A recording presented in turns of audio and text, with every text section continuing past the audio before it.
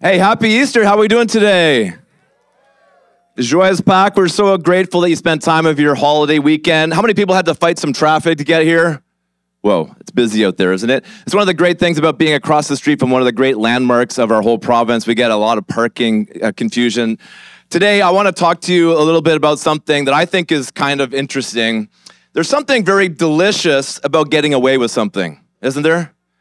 Delicious. It is delicious. I remember when I was a kid in my high school career and even leading up to that, I used to pray for a snow day. How many people used to do that? There's a test coming, a math test on Monday. I was just praying, God, please, I'm not ready for this math test, please. And twice, God answered that prayer in about 20 years. But that was a delicious Monday morning when I woke up. You know, we were tough back in those days. It wasn't like a little bit of snow on the ground. Like it was up to here that we got canceled school. Like back in my day, we were a little tougher this summer, my family and I, we were in Texas. My wife is from Texas. We took a long 30 hour journey down to Texas to enjoy being with family. And I was so freaked out because I was on the highway. I wasn't really paying attention to my speed and I saw the lights behind me. And I was like, oh my gosh, here we go again, a foreigner in a foreign land. I gotta, you know, get this big you know, speeding ticket, losing points off my insurance. I was like, going through the motions already, like how much is it going to cost me? What story am I going to tell the police officer? The lights were following me, and I was the only one down the highway. And then the car went right past me, and I just exhaled a big sigh of relief. It was delicious. I got away with it. My wife, we've been married for 21 years. My wife loves presents, and I was really stressing out. I still get stressed out at Valentine's Day. Any guys can understand that? Birthdays, Valentine's Day, it doesn't matter what it is. I always get a little bit of anxiety. And a couple of times my wife has said to me, you know what, let's not do presents this year. I'm just like, oh my gosh, thank the Lord. I, I just, I, I love you so much more now than I ever have. I was, I had something and it wasn't good. I just threw it in the garbage. I was like, this is embarrassing. There's something so delicious about getting away with something. The second chances we get from a police officer, from a teacher, from a parent, when we get away with something and get a second chance, it is such a delicious feeling. And not surprisingly, I'm sure you're, you're getting the drift on this. Easter is a delicious story of a second chance. It's a story uh, I've been a pastor now for over 20 years, and I've told this story. And I got to tell you, there's a little bit of anxiety preaching the Easter message because everybody's heard it before. It doesn't matter if you've been to church once in your life. This is the first time in church you've been here for. Everybody knows the basic plot of the Easter story. Didn't our kids do an amazing job, by the way? Thank you, thank you to our Broussard kids. And so, you know, there is a lot of anxiety because everybody knows the story, and yet, what I've discovered in the Word of God is that it's always fresh if you can come to it with a little bit of humility, there's something fresh for us to understand, a fresh revelation for us to understand. And again, whether you're a skeptic or an atheist, whether you're first time in church or whether you're coming back for the first time in a long time, or whether you're a citizen, you've been here for a long time and you this is your, your home, we just want to present to you this message and just give you an opportunity to show you, to show you something that I saw for the first time as I was studying. So if you have a Bible, we're going to be in Luke chapter 23, but if you don't, the verses will be behind you.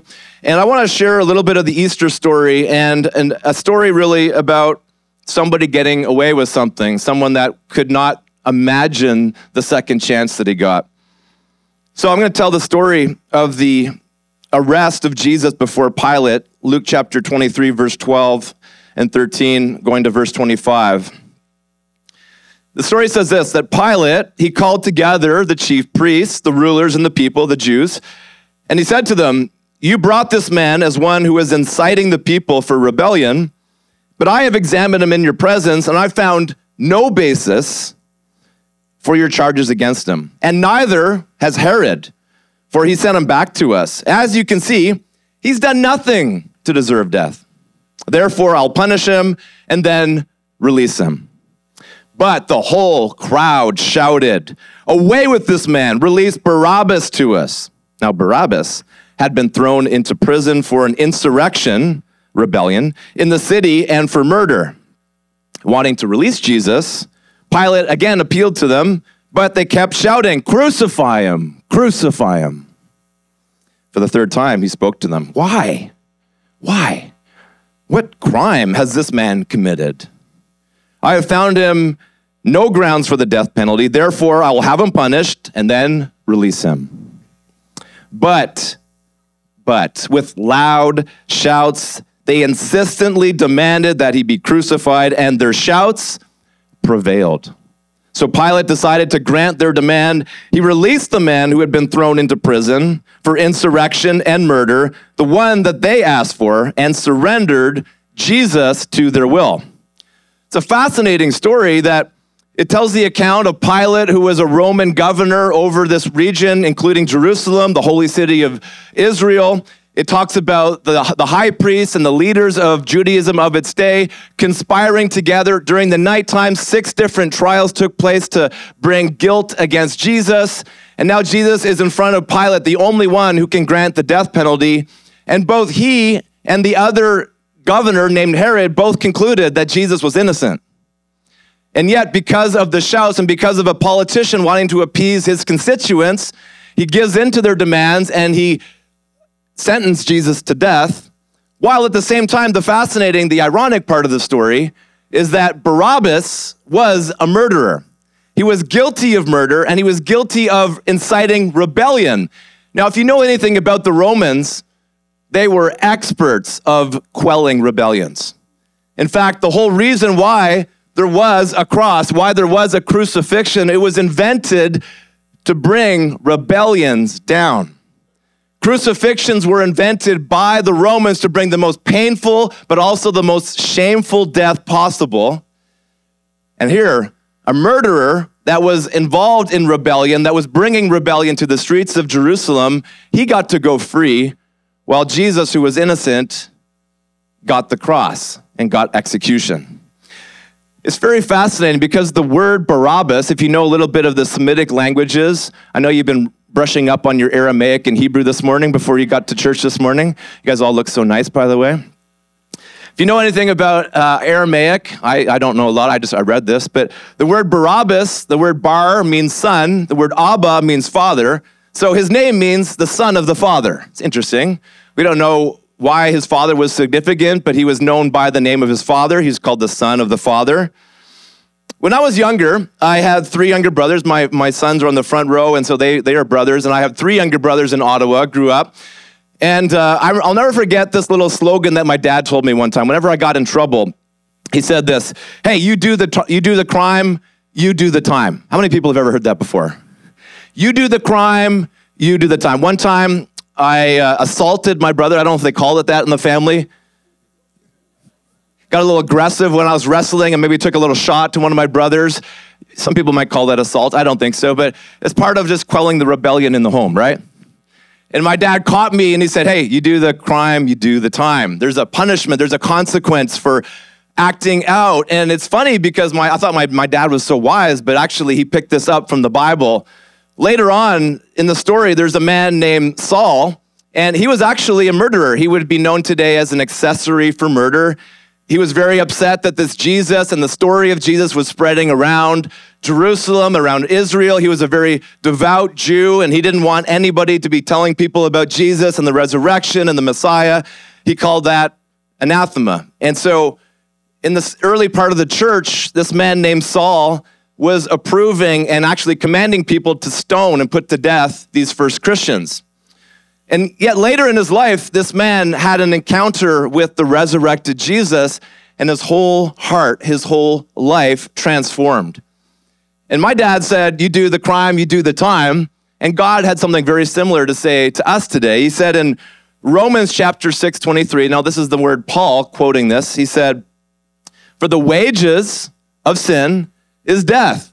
The wages, what we earn for our rebellion against God, our self centeredness, or as we talked about last Sunday, the self righteousness that many Christians, why many people don't want to go to church is because of the hypocrisy and the self righteousness of religious people, that we can be lost because of our self righteousness, but also our rebellion.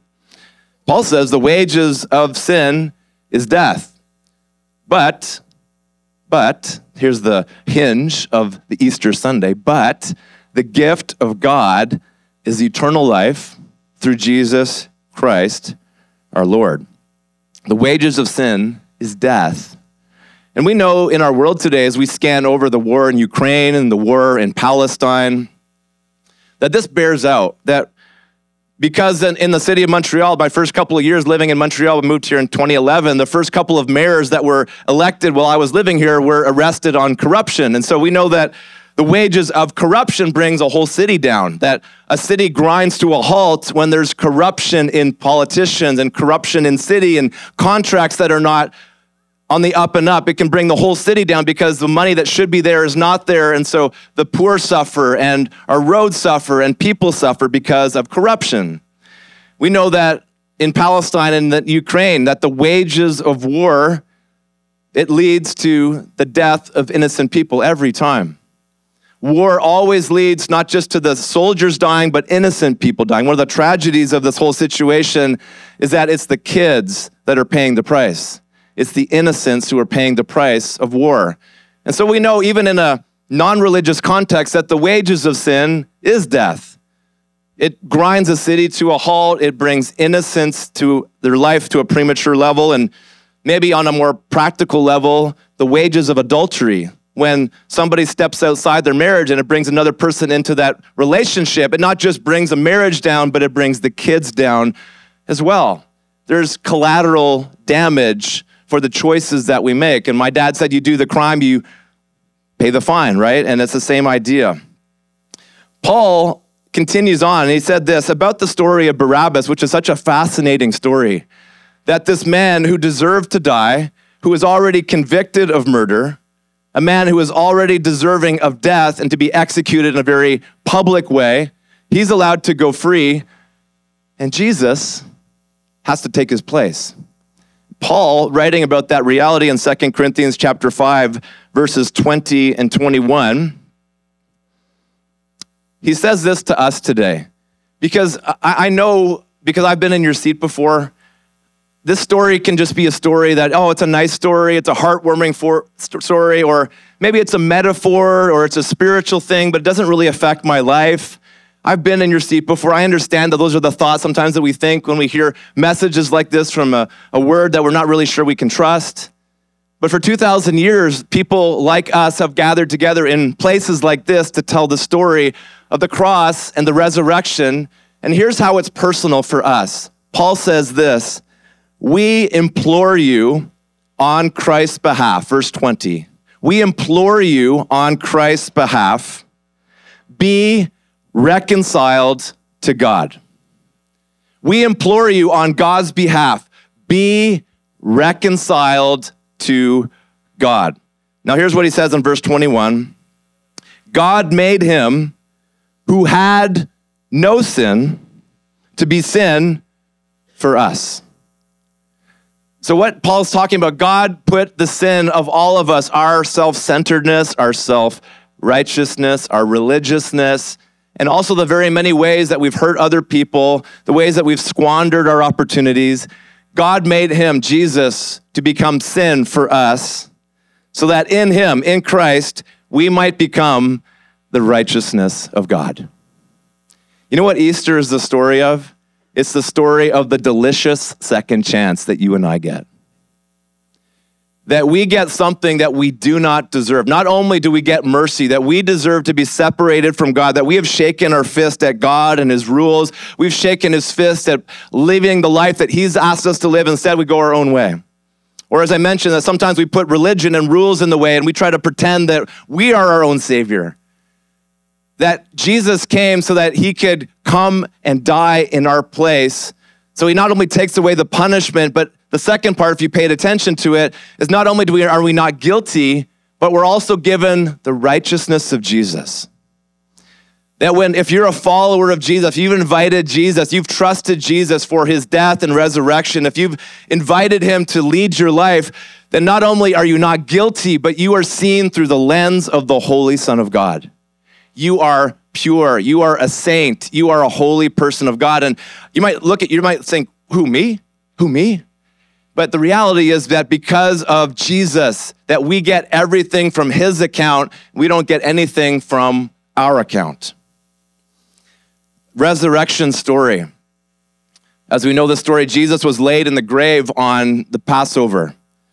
Right before the dawning of the Sabbath on Friday night, he was put in the tomb from Joseph of Arimathea, and for hours became days. And Saturday, yesterday, was the day that many theologians call Holy Saturday. It's the day between the gaps when the first followers of Jesus were waiting and wondering and bewildered and confused. You know, that first Sunday morning, nobody was ready to sing the Easter Sunday song because everybody was depressed. Everybody thought that this Jesus was going to be the Messiah, that this Jesus was going to be the Savior, but nobody expected no body. Nobody expected on that first Sunday that Jesus would actually be alive again.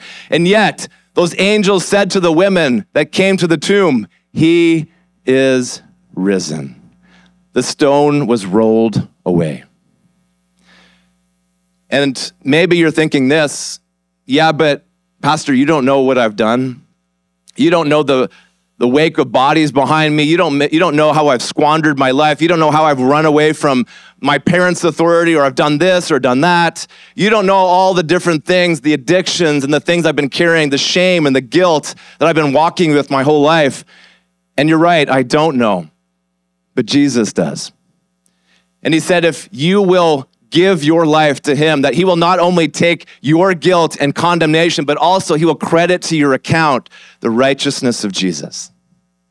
God made him who knew no sin, so that in him we might become the righteousness of God. Barabbas, as I mentioned, his name, it means son of the Father. You know what's really ironic about the Easter story? Barabbas, his name means the son of the Father. And ironically, the Son of God was condemned so that the Son of the Father could go free. Jesus, the true Son of the Father, the, the one who came from heaven for us that we celebrate at Christmas, the true Son of the Father was condemned so that Barabbas could go free. Barabbas, who was guilty, tried. Can you just imagine the minutes leading up to that trial? Barabbas is with the other two thieves that are about to get executed with Jesus, and they hear shouts outside the prison. They're in this dark and dank prison in the basement of the, of the prison walls, and they suddenly hear shouts of crucify him, crucify him. And immediately there's this terror that goes into the, the heart of Barabbas and the thieves because they know that their hour is up. And yet the soldiers bring him up. They bring him up before the people. They bring him up before Pilate. And instead of getting sentenced to death, they take off the shackles on his feet and on his hands, and they say, You can walk free. The nails that belong to Barabbas get put into the hands and the feet of Jesus. Barabbas, the son of the Father, is free so that the Son of God could be condemned. Easter is the story that reminds all of us that I am Barabbas. I deserved death. I deserve to be condemned because of my self righteousness, because of my rebellion, because I've shaken my fist at God at times. I deserve to be sentenced. And yet Jesus went to the cross for me. You know what Easter's the story of? I hate to, I have to break it to you because you guys all look so nice today but you also are Barabbas. The Bible says there is no one righteous, no, not one. All of us deserve, we stand guilty before God, and the only way that we can receive life eternal today and life into eternity after you die is if you receive a gift. Again, Romans chapter 6, verse 23. I want to read it one more time. The wages of sin is death. I, I, love English. I love literature. I got a, we have an English professor in the fourth row here, right? That word but is an important but, right? The wages of sin is death, but, but. The hope of Easter is this, but the gift of God is eternal life through Christ Jesus our Lord. You and I are Barabbas you and I are guilty before God. You and I have shame that we cannot cover ourselves. As much as you and I have tried, we cannot save ourselves. And one day, the Word of God reminds us that one day we will stand before a holy God and give an account for our life. And we can do one or two things in front of that holy God. We can apply the payment for Jesus' blood and his death, or we can pay ourselves. But make no mistake, one day we will have to pay. You can ask Jesus to pay for you, or you can pay your life yourself. And if you decide to have that, then you will spend eternity away from God. The wages of sin is death. And so the question is this question Will you allow Jesus to pay for your debt? Will you allow Jesus to free you as the Barabbas in front of us? You and I are deserved to be condemned to die We've got shame, we've got guilt, we've got condemnation. We've tried so many different ways to fix our life and we can't do it. And Jesus, because of the open tomb, it's an open invitation to you today. Jesus is not in a grave. Jesus stands right now with his arms wide open. And make no mistake, the image that Jesus is painted with in the resurrection, he's got the scars on his hand. He's got the scars on his feet to prove that his sacrifice was a victory for you and for me. So, will you allow Jesus to pay for your debt? Will you receive the gift that Jesus paid for you? Paul said, I implore you on Christ's behalf, be reconciled to God. Easter is the open tomb and the open invitation that you today can be reconciled to a holy God, a God who created the heavens and the earth, a God who knows the hairs on your head, a God that knows your past, your present, and your future. And He stands in the gap for you to give you an invitation right now to come. Receive the gift of salvation, to receive the gift of eternal life. A couple of minutes ago, as we get ready for the service, I talked to somebody that just lost a loved one. And, and I can't help think about Easter without thinking about the death of my father uh, back in 2010. He had leukemia and he passed away. And so it's been 14 years now. And so Easter is not simply about a spiritual reality that one day I'll be in heaven, but Paul talks about eternal life. And it's, it's both about quantity and quality. Because the kind of life that Jesus invites us to, it's not a, a, wait till you die kind of situation. It's that He wants to walk with you through the valleys of life. He wants to give you a quality of life that is so wonderful, the abundant life today that will only get better into eternity. And so, even as I preach this message and, and remind you and give you, implore you to be reconciled, my dad had a relationship with Jesus and he gave me that invitation as well. And so I've got tremendous hope. I got tremendous confidence that one day I'll be reunited with my Father. Life is short, but eternity is long. Life is difficult, and we can't do life alone. We invite you today to get reconciled to God. Can I invite you just to stand up? We're going to sing a couple of songs of response because I know this is a heavy message and it's, wow, this is a lot to process. This is a lot going on. And here's kind of the cliffhanger of the story. We don't know what happened to Barabbas. Like, did he get his life right? Like, did he actually understand? Did he watch Jesus get executed for him? Or did he just run away because he was so happy to be free? The Bible is unclear about what happened to Barabbas.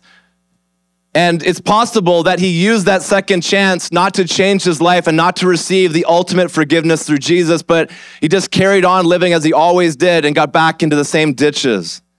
But maybe, maybe, just maybe, that one decision, that one catalyst of seeing Jesus take the shackles that he deserved, that Jesus taking the nails that he deserved, that that love that was poured out for him was such a revolutionary love that he himself received the gift of salvation. Have you received the gift? The wages of sin is death, but the gift of God is eternal life. Have you been reconciled to God. If you were to die today, would you know that you could stand before God and say, Jesus covered me? Jesus wants to walk with you through life, but he also wants to pay the debt that only Jesus can pay. Are you tired of running? Are you trying to are you tired of trying to solve your problems on your own? Are you, are you tired of trying to fix the issues that have been the same chronic issues your whole life? Jesus wants to come in and to transform your heart, to transform your destiny, and so I want to invite you just to bow your heads for a moment. If you've already made a decision to trust Jesus, can I just ask you to do something on behalf of Jesus? Will you live for him? He died for you so that he could live through you. Will you be the light of our city? Will you be the most kind, the most patient, the most servant oriented? That Jesus, who was the servant, he invites you to be the servant of our city. That he wants you to go last so that others can go first. He wants you to model your life after him. And perhaps there's one person here, maybe there's two, that today, that this message is for you. That you find yourself in the, in the seat of Barabbas, and that Jesus is inviting you right now to be reconciled to God that you don't have to pay for your past. You don't have to pay for your condemnation. You don't have to walk around with a backpack full of guilt. Today, you can lay that down at the cross and receive the mercy of God. So, will you pray with me? Today, if you want to give your life to Jesus, if you just want to lift up your hand just to say, Jesus, will you remember me when you come back in your kingdom? Just as Jesus was dying, there was two thieves between him on the cross, and one said, Remember me in paradise. And that's all it took. Jesus said, I will remember you. You will today surely be with me in paradise. So today, I urge you don't put it off. Stop running. Stop trying to fix yourself. Stop trying to medicate your addictions or medicate the different things you're walking around with. Allow Jesus to transform your heart and your destiny. Allow Him to give you the freedom and the peace and the power that can only come from a God who's been resurrected from the grave. So if that's you today, as we bow our heads, just everyone's eyes, just as a of respect for those who want to make that decision, would you just bow your heads with me? And today, if you want to receive the invitation of Jesus, will you just, in a moment, slip up your hand quickly, just so we can acknowledge you, so that we can pray for you, and most of all, so that God would see the intention of your heart, that you would take the place of Barabbas today, that you would allow Jesus to pay the debt that you can't pay. Father, we thank you so much for this beautiful story, this powerful story, Jesus, of how you took the life of a guilty person. You who were the Son of the Father, the Son of the living God, you were condemned to die so that the Barabbases in here could go free. Jesus, we ask that you would reconcile people to you today. We ask that you would hear their cries, Father, that you would forgive them, you would set them free that God, you give them a new purpose and a new life and a new heart. And So if that's you today, would you just slip up your hand to say, Jesus, would you save me? Jesus, would you remember me? Jesus, today I decide to become one of your followers. Help me to experience your love and the transformation of Jesus.